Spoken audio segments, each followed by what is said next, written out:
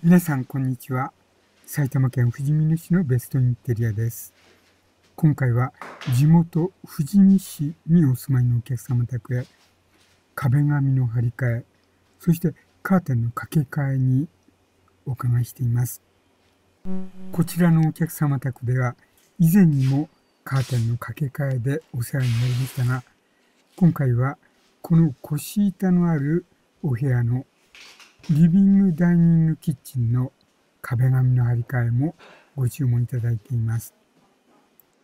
今回お客様に選んでいただいた壁紙はリビングルームにウィリアム・モリスの壁紙ベルフラワーを採用いただいています。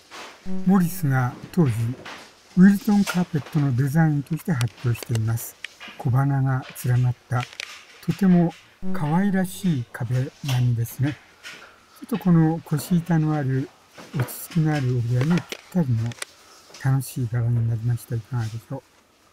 埼玉県富士見市のベストインテリアでした。